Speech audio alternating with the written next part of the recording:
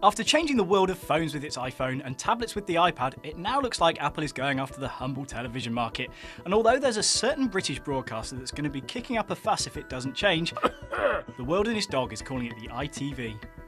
TechRadar's been collecting rumours about the iTV for ages now, so we've put together our quick guide as to what could be arriving with Apple's next generation viewing tech. First up, they've already tried the set top box option, so this time we're expecting to see a proper television. Apple's already shown off its prowess with displays for its Macs, but despite being loved by designers, they certainly don't come cheap.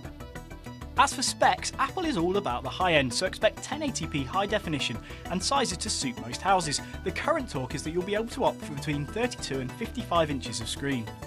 The real key for iTV will be the user interface, with Steve Jobs telling his biographer that the company has finally cracked it. When it's Jobs and Apple saying something like this, we're expecting simple, effective design and an interface that all but marches you up to the iTunes virtual counter and readies your wallet to pay for movies and TV.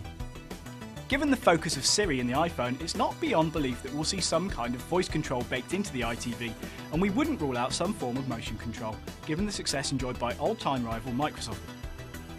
Apple does face one massive issue having enough content to make the service work properly. And even with the wealth of potential on demand offerings, many are suggesting that the service will need to be complemented with a set top box, be it satellite cable or terrestrial, to enjoy the best linear content like sport.